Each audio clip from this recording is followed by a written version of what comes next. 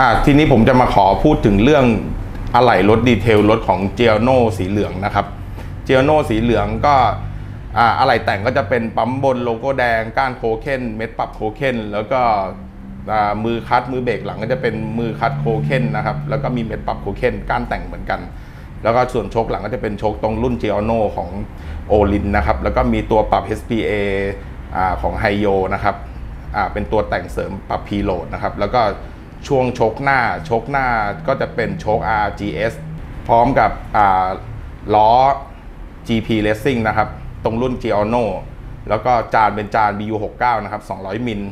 แล้วก็คาลิปเปอร์หน้าปั๊มจะเป็นปั๊มเบมโบ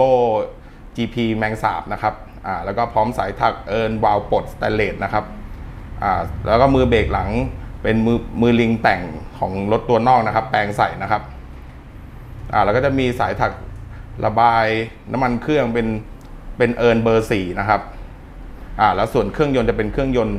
เครื่องเดิมนะครับคันนี้กันสะบัดจะเป็นกันสะบัด SD นะครับ SD 2 สีนะครับฝังคอนะครับอ่าแล้วก็ปาดด้วยสีแบบเรียบร้อยนะครับเขารูปตามที่เจ้าของรถอยากได้นะครับ อะไรไม่รวมตัวรถราวๆอยู่ประมาณไม่ไม่ข้ามสองแสนครับประมาณแสนกว่าบาทครับผมประมาณแสนเจ็ดแสนแปดได้ครับคันนี้ เพราะคันนี้ยังเหลือเก็บอีกนิดหน่อยครับ ยังยังยังไม่จบครับคันนี้